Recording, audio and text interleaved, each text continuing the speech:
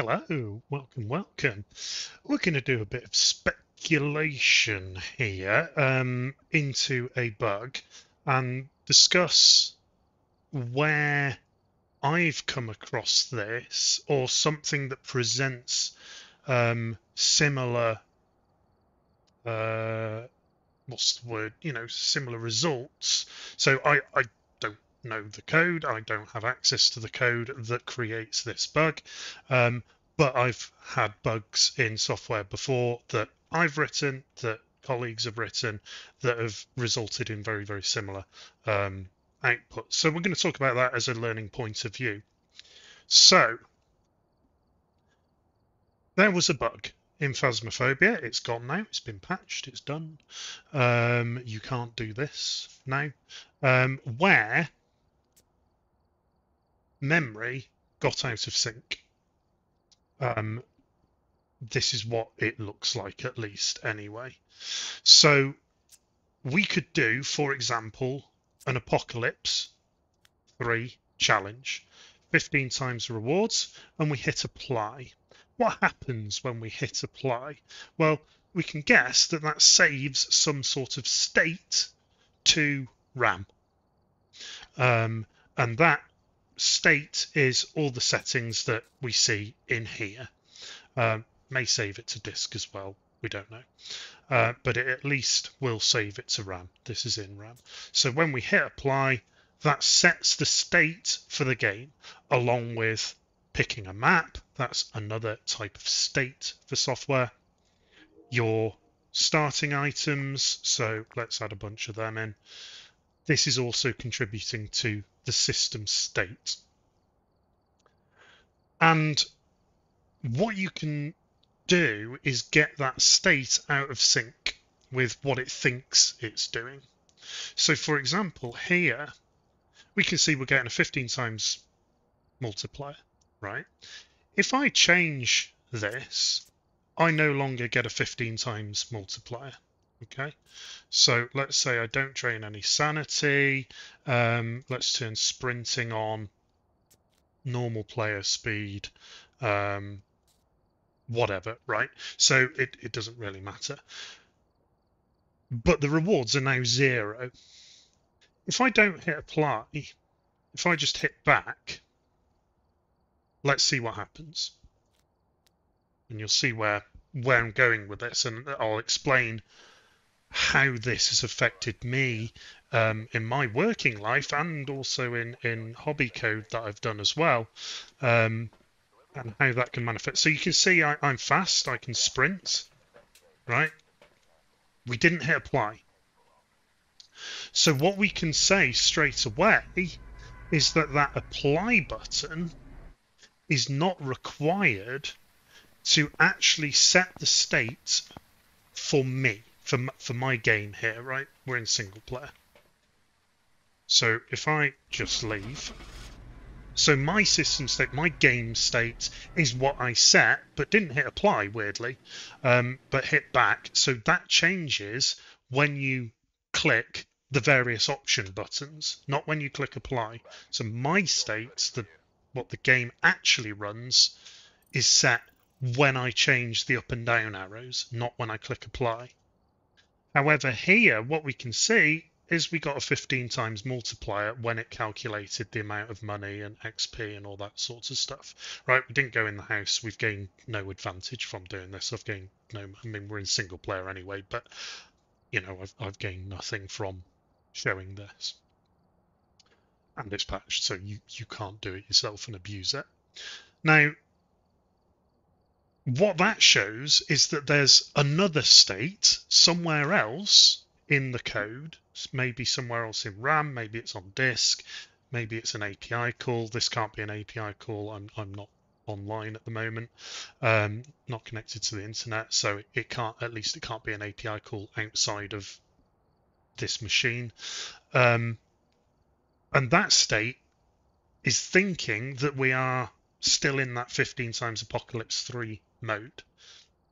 So therefore, what we can determine from this is that this state here with all these whoops wrong button with all these options is saved in this place right and then there's another copy of it somewhere else saved in this other place and the two are not ref- referenced to the same point in memory. They're not the same pointer in RAM, effectively. And there's no sort of um, mechanism to ensure that both of those states are identical before the game starts. And what we what we know just from inspection is that one of those states changes immediately as I'm clicking these buttons. It could technically be on the back button, but I doubt that for some reason. I would imagine, uh, this is my, my best guess, is that that state changes when we click these buttons. And it's an immediate change and then the other state is only written to, is only updated when we hit the apply button. And just to prove that point, so I've changed some of these settings here. So we are now, uh, let's say in Apocalypse 2 mode, so silver. If I hit apply here, uh, let's just pick a map. Uh, it doesn't really matter about equipment and start up, and then we immediately leave again. What we'll see is we'll get the Apocalypse 2. Um, should have made myself fast, never mind.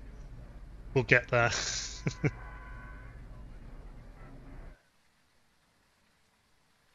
On, clicky button. Thank you. So yeah, uh, it's it's a fairly simple bug. It's a pain in the butt of a bug. Um, I've come across it multiple times in my professional career. Um, so here, there you go. You can see our multiplier is correct. So when we hit the apply button, that's a state saved to the other place, the other place that is used for calculating this stuff. Did I actually? Was it a spirit? I didn't even know. Yeah, spirit. so we actually got XP. Well, that's fine because that wasn't a, a. We didn't manipulate anything there, so that was just a lucky guess. I didn't even open the journal, um, but we hadn't. You know, for for that um, particular game, we hadn't.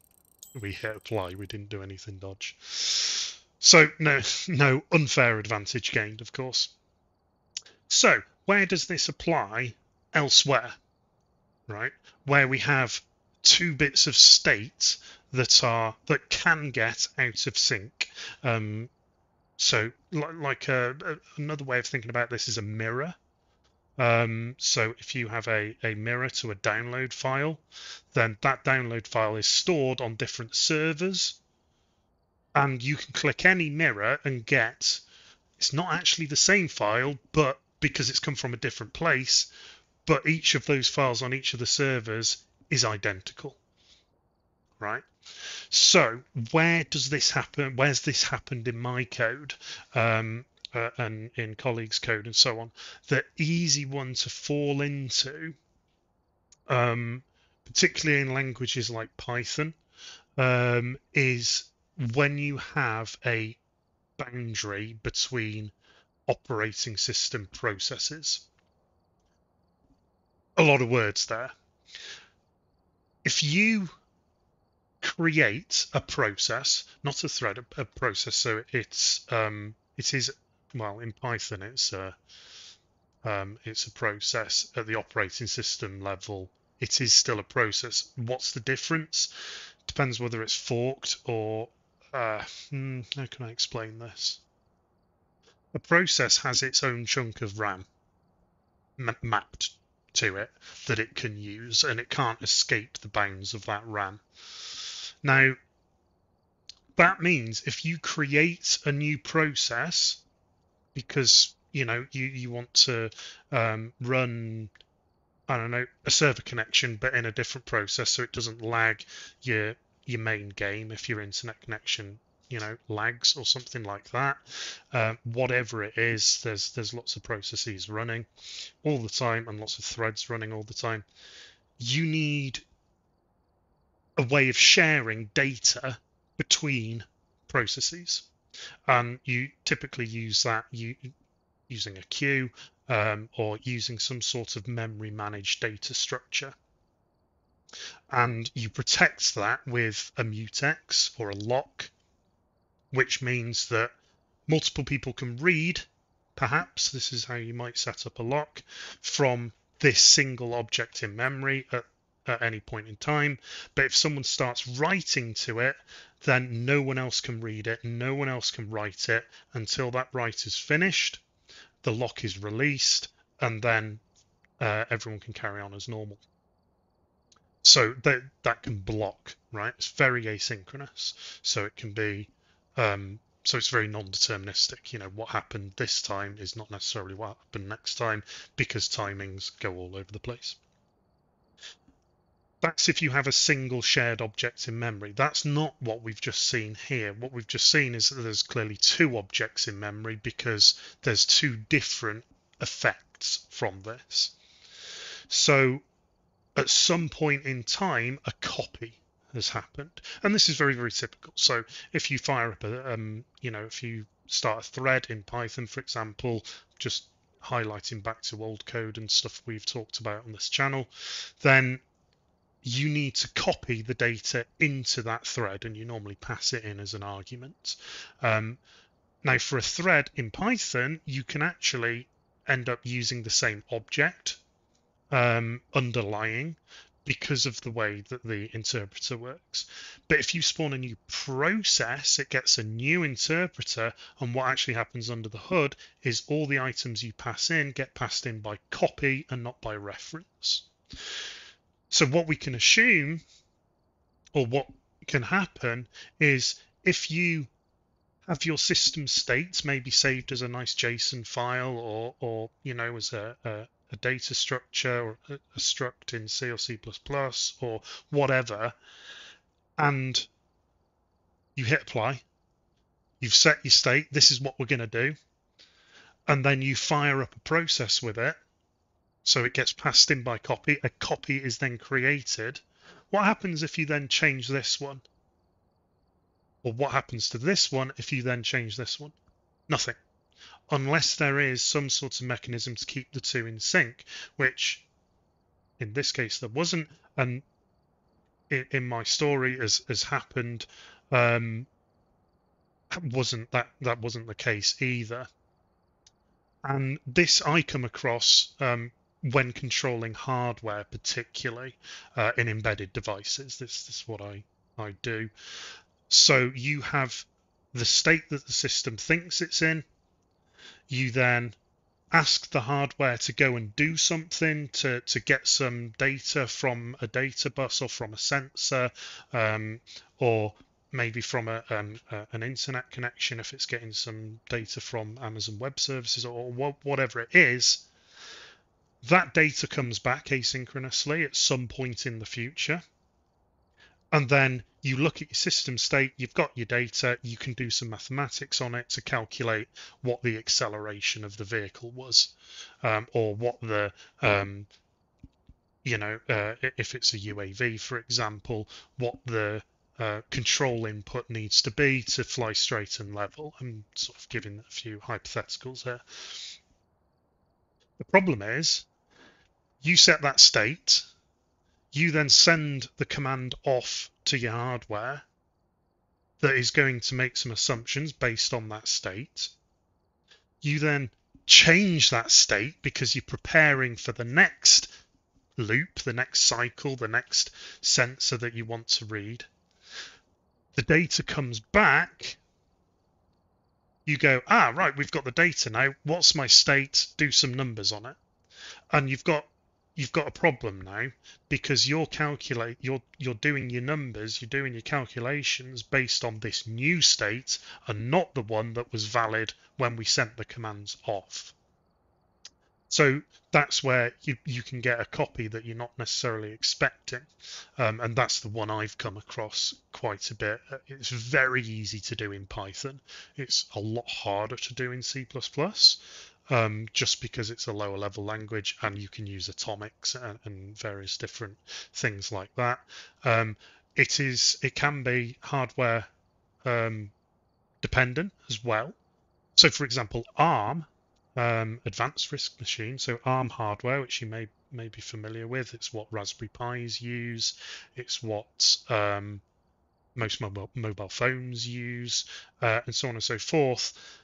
They are atomic by default, which means that you are guaranteed to not have a race condition on read and writes from memory um, which is very, very useful.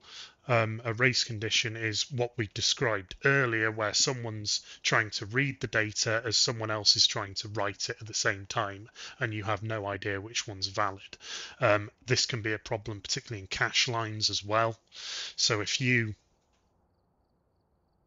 have a program that has some data in memory that actually gets cached so the CPU can access it really, really quick. If some other process comes along and goes, oh, I'm going to change that and changes it in RAM, the cache line is now wrong. But this process over here may not be aware that the cache line is now out of date. And what can happen then, you can get some really funky behavior then, is that this process makes a change to what it thinks is valid, and that's it's got it from cache, it didn't get it from RAM, makes a change, saves that to RAM, and then this process over here goes, where's my change gone? It's just vanished. It's completely vanished into the ether. I made this change in RAM, but it's just it's it's computer says no, it's vanished, and that's because some other thing was holding a state in a different bit of memory. It's re- really interesting stuff. ARM can't do that. Other architectures like x86 um, can. Um, so that's what most PCs are um, these days are x86. Um, so it, it's a real interesting problem. It's no matter how many times you've fallen for it, you'll fall for it again um, because it is it's so easy to do. And uh, memory management, when you have process boundaries and thread boundaries and stuff, depending on the language, is is a concern. Um, this manifests in, in many different places as well. It's, it's worth just mentioning.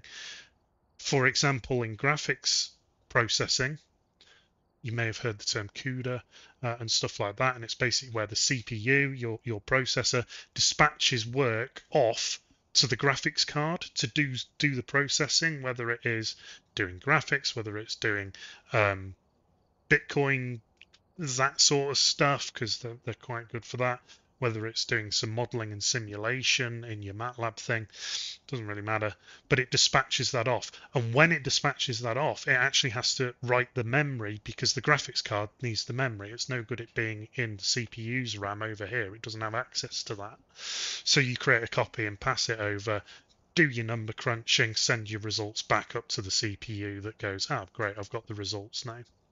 So again, there's there's now an, a copy going on of these two states, and if you're not careful, you can change one and not the other, and assume the wrong one is correct, or there's some you know um, uncertainty at least of, as to which one's correct. So anyway, so there's my thoughts. There's a bit of an offload of, of some knowledge and some um, considerations if you're writing your own code. This is certainly not slamming Faz at all. I, I think or hope I've been humble enough to show that I've done this myself and I'm I'm speculating that this is what the actual bug was under the hood. I don't know that um, for certain, but at least it presents um, very similarly to stuff I've encountered. So feel free to ask any questions down below. Um, I can't as I say, can't go into the depths of the Phasmo side of it. I'm just using that as an example.